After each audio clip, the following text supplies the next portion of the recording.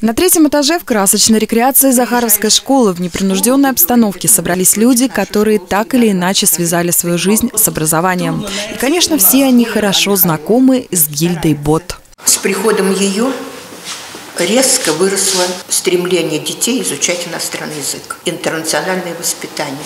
Ведь наши учителя были в Германии. Вот я ездила устанавливать контакты, настроя было. К дружному коллективу школы присоединилась и глава сельского поселения Захаровская Мария Мотылева, которая просто не смогла не прийти, чтобы не выразить слова поддержки такому удивительному и почитаемому человеку, как Гильда Бот. Гильда Александровна Бот – это целый, целая эпоха в Одинцовском районе. Она воспитала такое количество педагогов, руководителей школ. Она воспитала целые династии, как, например, в Захаровской школе это династия Шутиковых.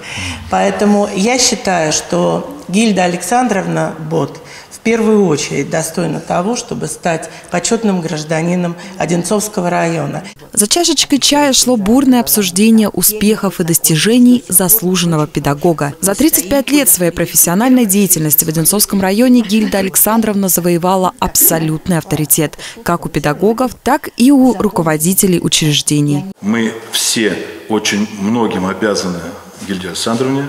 Лично я стал директором, она потом курировала меня, помогала, советовала, продвигала по жизни, помогала школе, естественно, очень много, помогала моему брату Андрею Петровичу, он стал директором Пушкинской школы, которая была организована здесь. Вот сейчас Ольга Владимировна э, великолепно исполняет обязанности, работает директором Пушкинской школы, поэтому и брату моему помогала, моим э, детям помогала учителям помогала очень много. Она была очень требовательна к себе и требовательна к остальным. Всех присутствующих переполняли эмоции, и каждый хотел рассказать о чем-то своем.